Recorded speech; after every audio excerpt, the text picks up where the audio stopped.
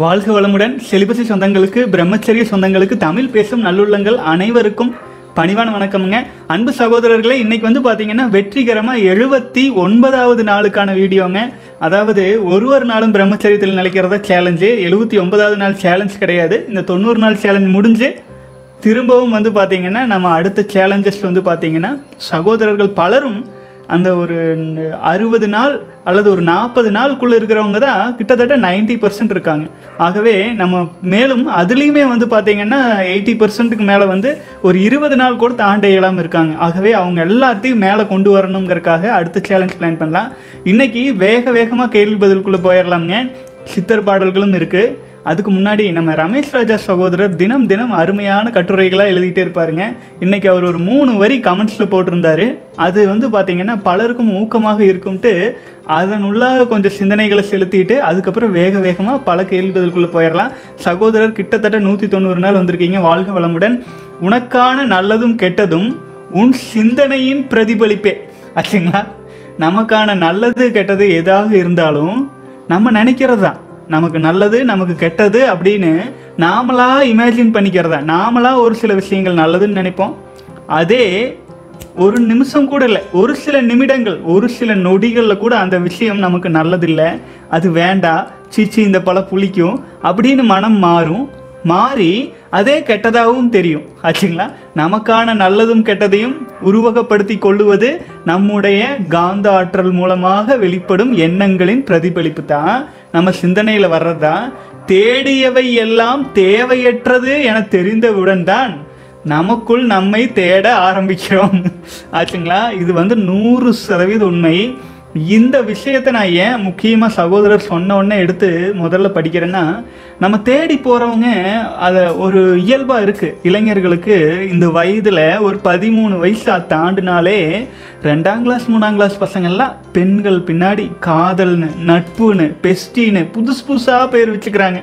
ஆனால் தேடியறது தேடுறது எல்லாமே தேவையே இல்லாத விஷயம் அப்படின்னு தெரிஞ்சுக்கிட்டோம் அப்படின்னா என்ன ஆகும் தெரியுங்களா? வாழ்க்கை ஒரு வெறுமை வரும்.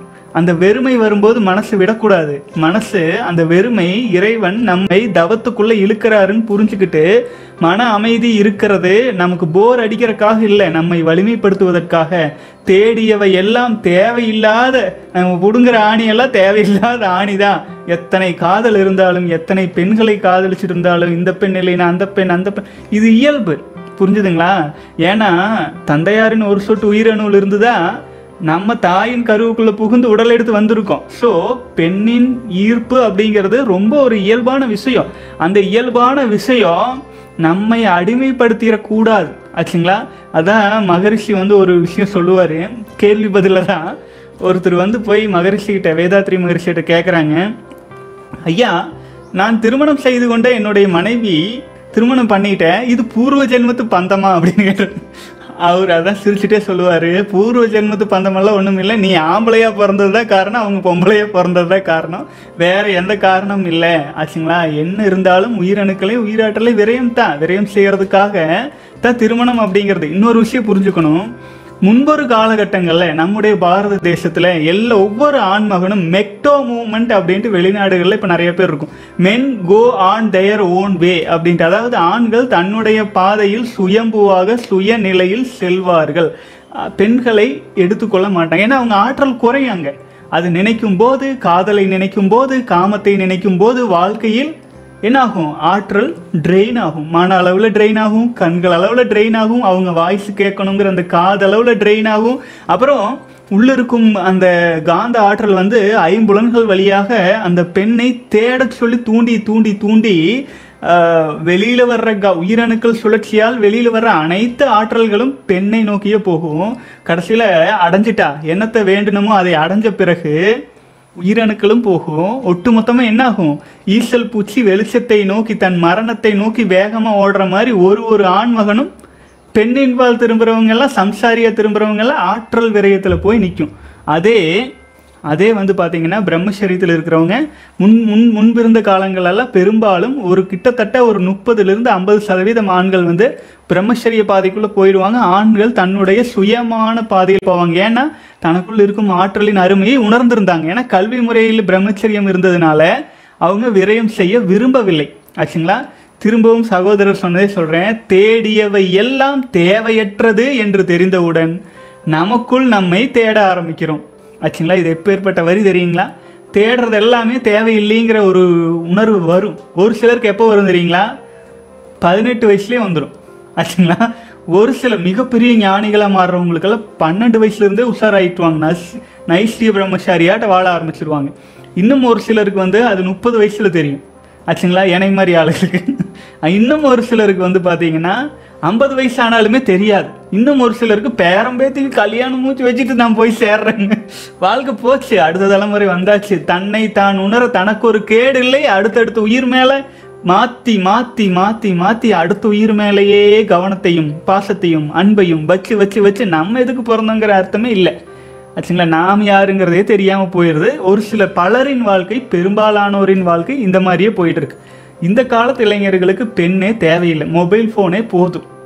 ஆச்சுங்களா? மொபைல் ஃபோனில் பார்க்குற அபரிமிதமான விஷயங்களை ரியல் உலகத்தில் இருக்கிற பெண்கள் கிட்ட போய் எதிர்பார்க்குறாங்க. அந்த மாதிரி எதிர்பார்க்கும் போது என்ன ஆகுது? இவ்வளோதானா அப்படின்னு ஆயிருது மிக விரைவில் இந்த காலத்து இளைஞர்கள் ஒரு இருபத்தஞ்சி முப்பது இருபத்தஞ்சி வயசுலேயே பார்த்தீங்கன்னா திருமண வாழ்க்கை அப்படி இப்படிங்கிறதெல்லாம் பெரிய விஷயம் இல்லைன்னு சீக்கிரம் சீக்கிரம் டிவோர்ஸ் ஆகி வெளியில் வந்துடுறாங்க. அப்படி தான் வெளியில் வர்றாங்களா? அப்படின்னு உனியாச்சு திருந்தி இருக்கிறாங்களான்னா திரும்ப திரும்ப அதே குழியில் புதை குழியில் ஒன்று விட்டால் ஒன்று ஒன்று விட்டால் ஒன்றுன்ட்டு பெண்கள் அதை விட வேகம். ஆச்சுங்க ஆண்களாயினும் ஒரு வருஷம் ரெண்டு வருஷம் மூணு வருஷம் கூட பொறுமை. பெண்கள்லாம் அப்படி இல்லை. நீங்கள் சரியில்லையா? ஒத்துவல்லையா? ஒரு வருஷம். மாறிடுது மனசு அவங்களுக்கெல்லாம் தேவைப்படுது அவங்களுக்கெல்லாம். ஆனால் ஆண்களுக்கு ஆண்களுக்குமே அப்படித்தான். இப்படி தான் போயிட்டே இருக்கு. உலகமே இப்படி போயிட்டு இருக்கும்போது நாம் வந்து நம் முன்னோர்கள் சொன்னதை இந்த சமயத்துலயாச்சும் புரிஞ்சுக்கணும். முன்னொரு காலத்தில் மக்கள் தொகையே இல்லைங்க. ஒரு ஒரு சிங்கம் இருக்குன்னா எத்தனை சிங்கம் இருக்குதோ அத்தனை மக்கள் தொகை இருக்கும். முப்பது கோடி சிங்கம் இருந்தால் முப்பது கோடி ம மக்கள் தொகை இருக்கும். இப்போ என்னாச்சு? மற்ற உயிரினங்கள் எல்லாம் அழிச்சு நம்ம நூறு கோடி இந்தியாவில் மட்டும் நூற்றம்பது கோடின்னு சொல்கிறாங்க இத்தனை பெருகியாச்சு. இன்னமும் நாம் போய் நம்முடைய ஆற்றலை விரயம் செஞ்சு நாம் வந்து குடும்ப வாழ்க்கைக்குள்ளேயே உழலணுங்கிற கட்டாயமே கிடையாது. பெண்கள் எல்லாரும் தன்னோட சுயத்தில் நிற்கிறதுக்கான கெப்பாசிட்டி வந்துருச்சு. ஆச்சுங்களா? உங்களை நம்பி தான் இருக்கிறாங்க அப்படிங்கிறதே ஒரு மாயா. அப்படி சொல்லி சொன்னீங்கனாலே உங்களை விட்டுட்டு போயிடுவாங்க. என்னை நம்பி தானே இருக்கிறேன்னு நீங்கள் சொல்லவே முடியாது. ஏன் அவங்க சுயத்தில் சுய கௌரவம் எல்லாமே வந்துருச்சு. அப்புறம் வாழ விட்டுறலாம் இல்லை இல்லைங்களா? நாம தான் வாழ வைக்கணுங்கிற காரணம் கூட கிடையாது. ஆகவே நான் ஏன் இதையெல்லாம் சொல்லிட்டு இருக்கிறேன் அப்படின்னா தேவையில்லாத விஷயங்களை நம்ம ரொம்ப நம்பி நம்ம வாழ்க்கையை அதில் இழந்துடக்கூடாதுங்கிறக்காக நான் சொல்லிட்டு இருக்கிறேன். பிரம்மச்சரியத்தில் நம்ம சுயத்தில் ஆச்சுங்களா? நமக்கு தேடிட்டு இருக்கிற விஷயங்கள் ஓடிட்டு இருக்கிற எல்லா விஷயமுமே ஒரு கட்டத்தில் தேவையே இல்லை அப்படிங்கிற உணர்வு எப்படியும் வரும். அப்படி வரும்போது நமக்குள் நம்மை தேட ஆரம்பிப்போம். அப்போ தான் ஆன்மீக பயணம் துவங்கவே ஆரம்பிக்குங்க அந்த பயணத்துக்கான மிக முக்கியப்படியானது பிரம்மச்சரியம். அதுக்கான சக்தி பிரம்மச்சரியம் தான் கொடுக்கும். ஒரு இருபது நாள் கடந்தா தான் அந்த பிரம்மச்சரியத்தின் முழு சக்தியையே உணர ஆரம்பிக்க முடியும். பல சகோதரர்களிடம் முதல் பத்து பதினஞ்சு நாள் இருக்கிறவங்க பயங்கர எச்சரிக்கையா அலர்ட்டா. இன்னைக்கு ஒரே ஒரு நாள். ப்ளீஸ் நம்ம உடல்கிட்ட சொல்லணும். ப்ளீஸ் இன்னைக்கு ஒரு நாள் எப்படியாச்சும் நான் கடந்துறேன். பரவாயில்ல. அட்ஜஸ்ட் பயங்கரமாக இருக்கட்டும். காம எண்ணங்கள் வந்துட்டே இருக்கட்டும். என்ன வேணாலும் இருக்கட்டும். ஆனால் இன்னைக்கு ஒரே ஒரு நாள் மட்டும் நான் கடந்துறேன். நாளைக்கு கூட பார்த்துக்கலாம். நாளைக்கு பார்த்துக்கலாம். இன்னைக்கு ஒரு நாள் என்னை காப்பாற்றி விட்டுரு ஆண்டவா அப்படின்ட்டு. ஒரு ஒரு நாளையும் கடந்து ஒரு பதினஞ்சு நாள் இருபது நாள் தாண்டிங்கனாலே ஓரளவு கிரிப்பு கிடச்சிடும் நாற்பத்தி எட்டு நாள் நீங்கள் கடந்தால் இந்த காம உணர்வுகள் உங்களை அடிமைப்படுத்திடவே முடியாத ஒரு ஸ்டேஜ் வந்துடும் அப்புறம் அசால்ட்டாக நீங்கள் பெரிய எஃபோர்ட் இல்லாமல் பிரம்மச்சரியத்தில் கடந்து போக முடியும். வாழ்க வளமுடன். அடுத்து ஒரு சித்தர் பாடல் இருக்குங்க அது பார்த்துட்டு போயிடலாம். மூல பகுதியற தாண்டவ கோணே உள்ளே முளைத்த வேர் புடுங்கேடா தாண்டவ கோணே. அதாவது மூலப்பகுதியற தாண்டவ கோணை அப்படிங்கும்போது மூலப்பகுதினா என்ன? நம்முடைய மூலம். நம் மூலத்தில் பகுதி மூலப்பகுதியற நம்ம கவனத்தில் எண்ணங்களாலும் பல்வேறு விஷயங்களை நம்முடைய ஒட்டுமொத்தமாக மூலாதார சக்கரத்தில் இருக்கிற இனப்பெருக்க பாகங்களுக்குள்ள மூலப்பகுதியிலேயே கவனம் இருக்குது காதல் காமம் ஆசை அப்படியே போயிட்டுருக்கோம். அந்த மூலப்பகுதி அறை மூலப்பகுதியில் இருக்கும் எல்லா கவனத்தையும் எல்லாத்தையும் மாற்றி அங்கே வந்து அது வேர் பிடிச்சிருக்கு இல்லைங்களா? அதை முளைச்ச வேற பிடுங்கி எரிடா தாண்டவ கோணம் ஏன்னா அது வேர் பிடிச்சி நம்மை பாச பந்தத்தில் ஆழ்த்தி நம்ம வந்து பார்த்திங்கன்னா வாழ்க்கையில் தெளிவில்லாமல் இழுத்துட்டு போயிடும் அதை முதல் அறுத்து எரிஞ்சிட்டு நம்ம முழுமையான பிரம்மசரியத்தில் இருக்கணும் அப்படின்னு சொல்ல வர்றாருங்க. இதுதான் வந்து பார்த்தீங்கன்னா ஏற்கனவே நேற்றைய தின சித்தர் பாடல்களில் இது ரிலேட்டடாக தான் பாடியிருந்த வாழ்க வளமுடன். அடுத்தது நம்முடைய சட்டை முனிநாதர் ஒரு பாடல் வந்து சகோதரர் அனுப்பியிருக்காரு. அதையும் ஒரு பார்வை பார்த்துடலாம்.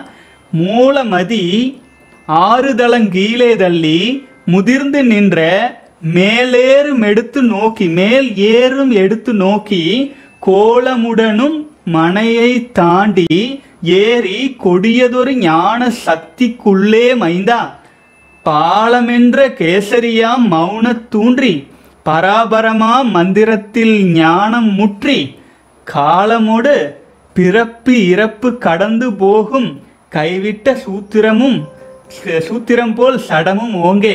வாழ்க வளமுடன். இது வந்துங்க ரொம்ப ஆழமான பாடல். அதாவது வந்து பார்த்திங்கன்னா ஒரு ஒருத்தர் ஒரு ஒரு விளக்கத்தில் போயிட்டு இருப்பாங்க நான் அந்த இதெல்லாம் விட்டுட்டு நமக்குள்ளாக உணர்ந்த தெரிகிறத உங்களுக்கு உணர்த்துறதுக்கு முயற்சி பண்ணுறேன் பார்க்கலாம் மூளை மதி ஆறுதலம் கீழே தள்ளி. வாழ்க வளமுடன். மூலம் வந்து பார்த்திங்கன்னா மூலம்ங்கிறது நம்முடைய இனப்பெருக்க இனப்பெருக்க உறுப்பு தான் சொல்லுவாங்க. மூலாதார சக்கரம்னு சொல்லுவாங்க. அப்புறம் மதி ஆறு தளம் கீழே தள்ளி ஆறு தளம் அப்படிங்கும்போது பார்த்தீங்கன்னா மூலாதார சக்கரத்திலிருந்து மூலாதாரம் சுவாதிஷ்டானம் மணிப்பூரகம் அநாகதம் விசுப்தி ஆக்ஞா. ஆறு தளம் ஆச்சுங்களா? மூல மதி அப்படிங்கிறது வந்து மூலத்தில் இருக்கும் மதியை. புரிஞ்சு மதினா என்ன? அறிவு. அறிவுன்னு சொல்லுவாங்க ஒரு ஒரு பகுதியில். மதி மதியை வென்றான் இல்லை அப்படி மதி விதின்லாம் சொல்லுவாங்க. மதியை விதியை மதியால் வெல்லலாம்ட்டு. அப்போது மூலத்தில் இருக்கும் மதியை ஆறு தளம் கீழே தள்ளி. ஆச்சுங்களா? அப்போ இந்த ஆறு சக்கரங்களையும் ச- ஏறி ஆறு சக்கரங்கள் சக்கரங்கள் மேலே ஏறி ஏறி ஏறி ஏறி ஆச்சுங்களா? மூலத்தில் இருக்கும் மதியை ஆறு தளங்களையும் கீழே தள்ளி முதிர்ந்து நின்ற மேலேறும் எடுத்து நோக்கி முதிர்ந்து நின்று மேலே ஏறு அப்புறம் எடுத்து நோக்கி கோலமுடன் மனையை தாண்டி ஏறி ஆச்சுங்களா? இதெல்லாம் அந்த ஸ்ட்ரகிள்ஸ் தாண்டி போகிறதுக்கான சிறு சிறு பாதைகளை குறிப்புகளாக சொல்கிறாரு கோலமுடன் மனையை தாண்டி ஏறி கொடியதொரு ஞான சக்தி உள்ளே மைந்தா அதாவது வந்து பார்த்தீங்கன்னா ஞானம் இருந்தால் தான் மேலேயே போக முடியும். ஆச்சுங்களா? அதாவது இந்த பாடலில் கடை முதல் வரி கடைசியில் கூட வைக்கலாம். அந்த அளவுக்கு வந்து பார்த்தீங்கன்னா வரிகளை மாற்றி சில சித்தர் பாடல்கள் படித்தா தான் புரியும். முதிர்ந்து நின்ற மேலேறும் எடுத்து கோலமுடன் மனையை தாண்டி ஏறி கொடியதொரு ஞான சக்திக்குள்ளே மைந்தா மூலமதி யாறுதளம் கீழே தள்ளி. ஆச்சுங்களா? இது என்னன்னா நம்முடைய மூலாதாரத்தில் இருக்கும் அந்த ஆற்றலை உயிர் ஆற்றலை காந்த ஆற்றலை நம்ம வந்து பார்த்தீங்கன்னா ஆறு சக்கரங்களை தாண்டி மேலே எடுத்து சென்று நம்முடைய சகசிரார தளத்தில் வைக்கணும் அப்படிங்கிறதுக்கான ஒரு குறிப்பு. இந்த நாலு வரியில் கொடுத்துருக்காருங்க. அடுத்த நாலு வரியில் பார்க்கலாம். பாலமென்ற கேசரியாம் மௌனத்தூன்றி அதாவது வந்து கேசரி முத்திரைன்னு நம்ம சொல்லுவோம். அது என்னன்னு கேட்டிங்கன்னா கிட்டத்தட்ட சகசிரார தலத்தை குறிப்பதாகத்தான் வருங்க. அதாவது நாக்கை மேலே மடக்கி வச்சு உள்ளே போயிட்டு உச்சந்தலையிலிருந்து உள்ளே வந்துட்டு ஆக்னா சக்கரத்திலிருந்து உள்ளே போயிட்டு பின்னாடி வந்து ஒரு சக்கரம் இருக்குங்க மணிப்பூர சாரி அது என்ன சக்கரம்? சரியா நினைவில்லை. இங்க ஒரு சக்கரம் இருக்கும். மொத்தமா எல்லாத்துக்கும் சென்ட்ரல்ல இருக்கிறத வந்து கேச்சரி அப்படின்னு சொல்லுவாங்க. கேச்சரி முத்திரைனும் அதை சொல்லலாம். நாக்க மேல மடக்கி நடு மையத்துல கவனம் வைக்கிறது. அதான் இந்த கேச்சரியாம் பாலம் என்ற கேச்சரியாம் அதுக்கு வந்து மௌனத்துல ஊன்றி ஆச்சுங்களா? முதல்ல வந்து காந்த ஆற்றலை மேலெடுத்து கொண்டுட்டு வந்து அந்த சகசிரார தளத்துல வச்சுட்டு ஆழ்நிலை மௌனத்துல ஊன்றி நிக்கணும். பராபரமாம் மந்திரத்தில் ஆச்சுங்களா? பராபரமாம் மந்திரத்தில்னா அது மௌனத்தில் இருக்கும்போது எண்ணமற்ற நிலை. அதைவே நம்ம மந்திரமாகவும் எடுத்துக்கொள்ளலாம்ங்க. சூன்ய நிலை தான் மந்திரத்தில் ஞானம் முற்றி அதாவது ஞானம் குறைவாக இருக்கும்போது அது மந்திரமாக மாறும். ஞானம் மந்திரங்கள் முற்றும் போது அது வந்து மௌனத்தில் ஆளும் ஆச்சுங்களா? அதுதான் பராபரமாக மந்திரத்தில் ஞானம் முற்றி காலமோடு பிறப்பு இறப்பும் கடந்து போகும். ஏன்னா நம்முடைய உயிரணுக்களை நம்ம அப்படியே மேலே எடுத்துட்டு வந்துட்டு இருக்கோம். மேலே எடுக்கிறோம் ஆறு ச ஆறு தளங்களை தாண்டி மேலே கொண்டு வரும்போது அதன் மூலத்தோடு நம்ம இணைச்சிடுறோம். ஆச்சுங்களா? ஆண்களுக்கு இங்கே நாதம்னு இருக்கு இல்லைங்களா? அங்கே மூலத்தோடு நம்ம இணைச்சிடுற காரணத்தினால அந்த இடத்துல மனதை வைத்துக்கொண்டு ஆற்றலையும் வைத்துக்கொண்டு உயிர் அணுக்களையும் டிரான்ஸ்மியூட்டேஷன் பண்ணி எடுத்துட்டு போய் அங்கே வச்சு ஆழ்நிலை தவத்தில் ஆழ்ந்து இருக்கும்போது என்ன ஆகுங்க பிறப்பு இறப்புங்கிற தலை அரும். கடந்து போகும் கைவிட்ட சூத்திரம் போல் சடமும் ஓங்கே. அப்ப என்ன ஆகும் நம்ம வந்து இறை இறைவனோடு நம்ம ஐக்கியமாய் இருக்கிற சூழல் வரும்போது அது என்ன ஆகுன்னா இந்த சடம் சடத்துக்கு அவ்வளோ தூரம் வந்து பார்த்தீங்க அப்படின்னா பிரியும். உயிருக்கும் சடத்துக்கும் உண்டான அந்த பிரிவு நம்மளால உணர முடியும். எப்படி சொல்லலாம்னா ஒரு புலி இருக்குன்னா அந்த புலி பழுக்க பழுக்க பழுக்க என்ன ஆகும் தன்னை சுற்றி இருக்கும் தோலையிலிருந்து விடுபட்டு கடைசியில் பார்த்தீங்கன்னா அந்த புளியை தனியாக எடுத்துடலாம் அந்த அந்த தோல் தனியாக எடுத்துடலாம் அந்த மாதிரி கைவிட்ட சூத்திரம் போல் சடடும் சடமும் ஓங்கே அப்படின்னு இருக்காருங்க. வாழ்க வளமுடன். இதை விளக்கணும் அப்படின்னா இன்னமும் விளக்கிட்டே இருக்கலாம். ஆனாலும் பல கேள்வி பதில்கள் இருக்கிறனால இதனுடைய முக்கிய தாத்பரியமாக என்ன சொல்கிறாருன்னா நம்முடைய உயிரணுக்களை மேலெடுத்து வந்து நம்முடைய சகசிரார தளத்தில் அதாவது கேச்சரி தவ நிலையில் கூட பெற்று மௌனத்தில் ஆழ்ந்து மந்திரங்களுக்கெல்லாம் உச்சகட்ட மந்திரமான மந்திரங்கள் முற்றிய மௌன நிலையில் ஆழ்ந்து தவமாற்றிக்கொண்டே இருக்கும்போது அங்க நம்முடைய எண்ணங்கள் எல்லாமே மேல்நிலையில் இருக்கும்போது அங்க பிறப்பு இறப்புங்கிற இனப்பெருக்க உறுப்புகளில் செயல்படும். அந்த தலை முடிபடும். அந்த இடத்துல வந்து இனப்பெருக்க எண்ணங்களே இனி வராது. பிறப்பு இறப்புங்கிற சுழலில் சிக்க மாட்டோம். அப்போ இறைவனோடு ஐக்கியமாவதற்கான ஒரு சுழலும் வரும். அதில் நிலைக்க நிலைக்க உடலுக்கும் உயிருக்கும் உண்டான அந்த பிடிப்பு அப்படிங்கிறது வந்து விடுபட்டு உடல் ஒரு பெரிய விஷயம் மயக்கங்கள் அது எல்லாமே குறைய ஆரம்பிக்கும். ஒட்டுமொத்த வாழ்க்கைக்கான ஒரு குறிப்பிட்ட ஒரு அழகான ஒரு கவிங்க வாழ்க வளமுடன். அடுத்த சகோதரர் வந்து அண்ணா ஒரு டவுட்டு ஆக்சுவலி சொல்லப்போனால் பெண்கள் உண்மையாகவே லக்கி தான். பிகாஸ் நம்மக்கிட்ட இருந்து ஆற்றலை எடுத்து அண்ட் அவங்களும் சந் சந்தமாசை வாழ்க்கை சந்தோஷமாய் வாழ்க்கையை வாழ்க்கையை ஹாப்பியாக ஸ்பெண்ட் பண்ணுறாங்க இதில் நம்ம தான் எல்லா எனர்ஜியையும் வேஸ்ட் பண்ணி கீழேயே போய் வேஸ்ட்டாக இருக்கும். காலியாக போய் வேஸ்ட்டாக இருக்கும். சேடன்னா இதை பார்க்கும்போது மனசு வலிக்குது. ப்ளீஸ் டிஸ்கஸ் பண்ணுங்க வாழ்க்கை வளமுடன் உண்மைதானுங்க. ஆண்கள் வந்து இந்த இந்தா இந்தா இந்தான்ட்டு ரெடியாக போயிட்டே இருக்காங்க. நீங்கள் நீங்கள் ஒரு பெண் இருக்குது வாழ்க்கை துணையாக எதாவது வேணால் இருக்கட்டும். நீங்கள் பெண் இருக்குது. அப்போ அந்த பெண்ணுக்கு வந்து நீங்கள் வாழ்க்கை கொடுக்குறீங்க எல்லாமே பண்ணுறீங்க உங்ககிட்ட இப்போ அவங்களுக்கு நிறைய சாய்ஸஸ் வந்தாச்சு. நீங்கள் சரியில்லைன்னா இன்னொரு ஆள் தயாராக இருக்காங்க. உங்களுக்கு முன்னாடி தயாராக இருக்காங்க. வாழ்க்கை கொடுக்கறக்கு ஆச்சுங்களா? அப்புறம் அதனால என்ன ஆயிருது ஆண்களுக்கு? ஐயோ நாம தான் வாழ்க்கை கொடுக்கணும். நம்ம தான் கொடுக்கணும் அப்படின்ட்டு அடிமையை போல மாறிடுறாங்க. அடிமையை போல மாறி உயிரணுக்களை கீழையும் வீணாக்குறாங்க மனதிலையும் வீணாக்குறாங்க ஐம்புலன்களிலும் வீணாக்குறாங்க. இது போதாது அப்படின்ட்டு மொபைல் ஃபோன் மூலமாகவும் வீணாக்குறாங்க. கடைசியில் ஆண்கள் பார்த்தா ஒரு ஐம்பது வயசுக்குள்ள ஒன்றுத்துக்கும் பிரயோஜனம் இல்லாமல் காலியாகி போயிடுறாங்க. இந்த மாதிரி ஒரு நிலை வந்துடும் அப்படிங்கிறதுனால தான் நம்முடைய முன்னோர்கள் வந்து ஆரம்ப காலகட்டங்களில் பிரம்மச்சரியம் அப்படிங்கிற ஒரு கல்வியையே உருவாக்கி வச்சுருந்தாங்க. கல்விக்கு பேரே பிரம்மச்சரியம்.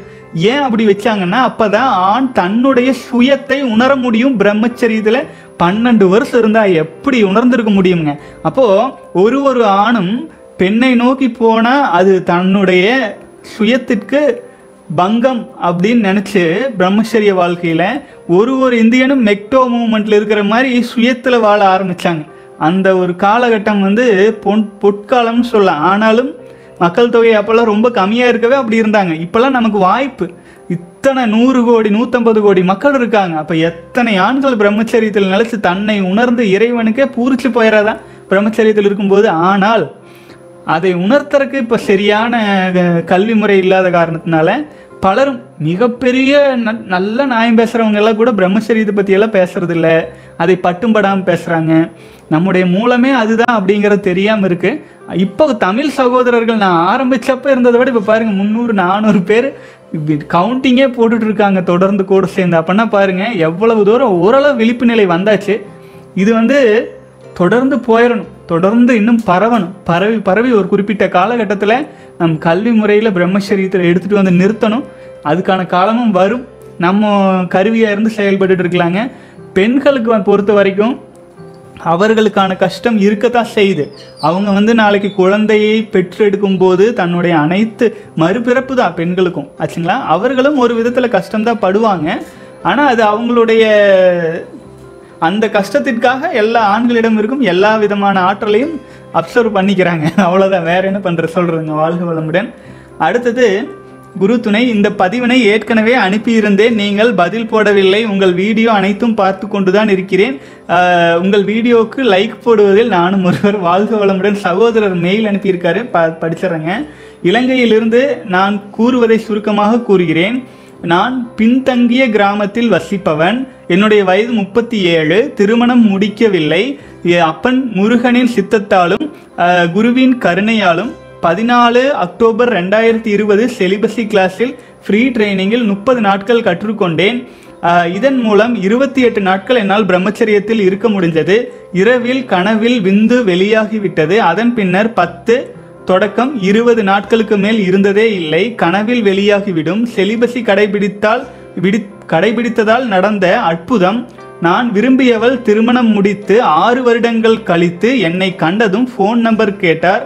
கதை பேசுவதற்காக என்று நான் இல்லை என்று மறுத்துவிட்டேன். இப்போது என்னுடன் கதைக்காதவர்களும் கூட கதைக்கிறார்கள். அதாவது பேசாதவர்கள் கூட பேசுகிறார்கள். நான் வெளியிடங்களுக்கு போவது மிகவும் குறைவு. சித்தியின் மகனுடன் வேற ஊருக்கு சென்றபோது பெரும்பாலான இடங்களில் மழையை நம்பி வேளாண்மை பயிர் இட்டிருந்தனர். அடிக்கடி மழை பெய்து வந்தது. ஐம்பது முதல் எழுபது நாட்கள் பயிராக இருந்தது. பதினஞ்சு நாட்களுக்கு மேல் மழை பெய்யாமல் பயிர்கள் வாடியும் கருகியும் இருந்தது. சுவாமி வள்ளலார் வாடிய பயிரை கண்டபோதெல்லாம் வாடினது போல நானும் வாடி என் கண்களும் கலங்கியது. மழைக்காக தியானிக்க வேண்டும் என்று என் மனம் சொன்னது. அன்று விட்டு அடுத்த நாள் அதிகாலை நான்கு மணிக்கு தியானம் செய்தேன். அன்று ஏழு மணிக்கு லேசான தூறலாக மழை பெய்தது. அது போதாது என்று வெளியில் நின்று சூரியனை பார்த்து தியானித்தேன். ஒரு பத்து பதினோரு மணி போல் லேசாக தூறியது. பனிரெண்டு மணிக்கு உச்சி வெயிலில் நின்று ஒன்று முதல் ஏழு நிமிடம் தியானித்தேன். அறையில் வந்தும் தியானித்தேன். அன்று ஏழு மணிக்கு பிறகு கொஞ்சம் கொஞ்சமாக பெய்யத் தொடங்கியது. வேளாண்மை வெட்டும் வரை சில நாட்களில் லேசாக பெய்தது. சில நாட்களில் விட்டு விட்டு பெய்தது. வேளாண்மை வெட்டும் காலத்தில் மலைக்கு ஏசினார்கள். நான் சொன்னேன் திட்ட வேண்டாம் கடவுளிடமும் மழையிடமும் வேண்டுங்கள் என்று நாங்களும் வேளாண்மை செய்திருந்தோம். வெட்டும்போது எனது நன்றியையும் மழைக்கு தெரிவித்து வெட்டினேன். அன்று இருந்து நாங்கள் வேளாண்மை வெட்டி நெல்லை காய வைத்து கட்டி வைக்கும் வரை நான்கு நாட்களுக்கு ஒரு துளி மழை கூட தூரவில்லை அன்று இரவு நான்கு நாட்கள் மழையை அன்றே கொட்டி தீர்த்தது. இவ்வாறான அற்புதம் நிகழ காரணமாக இருந்த குரு பிரகாஷ் அவர்களுக்கு இந்த புண்ணியம் அனைத்தும் சேரட்டும். வாழ்க வளமுடன் சகோதரி உங்களுடைய சக்தி தான் அது. நான் மாடர்ன் செலிபதியில் சீல் சேர தாருமாக உள்ளேன். கண்டிப்பாக சகோதரி வாழ்க வளமுடன். ரொம்ப சந்தோஷமாக இருக்குதுங்க. இது போல் பல சகோதரர்களும் தங்களுடைய அனுபவங்களை எழுதி அனுப்பிட்டு இருக்கீங்க ரொம்ப நன்றி. இது வந்து பார்த்தீங்கன்னா உங்களுடைய காந்த ஆற்றல் தான். உங்களுடைய சிவம் தான். நமக்குள்ளாக இருக்கும் இறை ஆற்றல் தான். நம்முடைய எண்ணத்திற்கு அபரிமிதமான வலிமை உண்டு. அது தவத்தோடு இணையும் போது நமக்குள்ள உயிரணுக்களை அபரிமிதமாக காப்பாற்றி கொண்டிருக்கும் போது அதை நீங்க தியானமாக மாற்றும் போது வான்காந்த ஆற்றல் பிரபஞ்ச ஆற்றலே நமக்குள்ள நிறையும் போது சின்ன சின்ன அதிசயங்கள் நிகழ்வது பெரிய விஷயம் இல்லைங்க. ஒட்டுமொத்தமா நம்முடைய சமுதாயமே வலிமை பெறும் வலிமை பெறும்னு நான் ஏன் சொல்லிட்டே இருக்கிறேன் அப்படின்னா இது போல பல அற்புதங்கள் ஒரு ஒருவர் வாழ்விலும் ஒரு ஒரு சகோதரர்களும் பிரம்மச்சரியத்தில் நிலைச்சு பீஷ்மரை போல அனுமாரை போல சித்தர்களைப் போல நல்ல தவத்திலும் தூய பிரம்மச்சரியத்திலும் நிலைச்சு எல்லாருமே நல்ல உடல் நலம் நீல் ஆயுள் நிறை செல்வம் உயர் புகழ் மெய்ஞானம் பெற்று நல்ல சந்தோஷமா வாழணும். ரொம்ப சந்தோஷம் சகோதரரை வாழ்க வளமுடன். அடுத்தது சார்லஸ் பிரிட்டோ சகோதரர் கீழே கமெண்ட்ஸில் போட்டிருக்கீங்க. வணக்கம் அண்ணா வாழ்க வளமுடன். நான் இன்ஜினியரிங் படித்து முடிச்சிட்டேன் எனக்கு எஸ்டர்டே ரிசல்ட் வந்துருச்சு. நிறைய அரியர் வச்சிருக்கேன். என்ன பண்ணுறதுனே தெரியல ஒரே குழப்பமாக இருக்குண்ணா படிப்பு இல்லாமல் வாழவே முடியாதா? முன்னேறவே முடியாதா? முடியாதா? எனக்கு விளக்கம் கொடுங்க. அப்படியெல்லாம் இல்லைங்க. இந்த காலத்தில் ஒரு விஷயம் சொல்கிறேன் கேளுங்க. மிகப்பெரிய நிறுவனங்களை நடத்திட்டு இருக்கிறவங்க எல்லாருமே பாதி படித்தவங்க தான். College drop out school drop out அவங்க தான் ஏன்னா பள்ளிக்கூடமும் கல்விக்கூடமும் கல்லூரிகளும் மாணவர்களை ஒரு ஸ்லேவ்ஸாக மாற்றுதே ஒழிய என்டர்பிரீனியர்ஸா மாற்றுறதில்லை ஒரு சாதாரண தொழில் நிறுவனத்தில் போயிட்டு ஒரு நாலு மாத காலம் தொழில் கற்றுக்கிட்டு வந்து சுயமாக தொழில் தொடங்கிட முடியும். ஆனால் நம்முடைய தற்கால கல்வி முறையில் நீங்கள் முப்பது வருஷம் படிச்சுட்டு வெளியில் வந்தீங்கனாலும் சொந்த தொழிலெல்லாம் செய்ய முடியாது. ஆச்சுங்களா அந்த அளவுக்கான கல்வி முறை தான் இருக்குது ஏன்னா நாம் என்ன பண்ணுறோங்க அடுத்தவங்ககிட்ட வேலை செய்ய போகிறோம் சம்பளத்தையும் வாங்கிட்டு தொழிலையும் கற்றுக்கொண்டு ஓரிரு வருடத்தில் சொந்தமாக கூட தொடங்க முடியும் ஒரு தொழிலை. மனுஷனுக்கு அந்த அளவுக்கு டேலண்ட் இருக்குது ஆனால் கல்லூரிகளில் பாடத்திட்டங்களில் நம்ம பணத்தை கொடுக்குறோம். நம்ம நமக்கு வாங்கலை ஆனால் நம்ம செலவு பண்ணுறோம் படிக்கிறோம். எல்லாம் படித்து முடிச்சுட்டு வெளியில் வரையில் ஏதாவது பிரயோஜனம் இருக்கா? பெருசாக இல்லைங்க. வாய்ப்பு கிடைச்ச நூற்றுக்கு ஓரிருவர் வாய்ப்பு கிடைச்சி போயிடுறாங்க. மீதி தொண்ணூற்றி எட்டு பேர் அதை பார்த்து பெருமூச்சு விட்டுட்டு ஒரு பத்தாயிரம் அஞ்சாயிரம் எட்டாயிரம் சம்பளத்துக்கு சீரழிஞ்சிட்டு இருக்காங்க. இதுதான் நடந்துட்டு இருக்கு. நீங்கள் கோல்டு மெடலிஸ்ட்டாக வாங்கினவங்களே எத்தனை பேர் வேலை இல்லாமல் சுற்றிட்டு இருக்காங்க. நீங்கள் அரியர்ஸ் வச்சுட்டேன்லாம் கவலைப்படாதீங்க.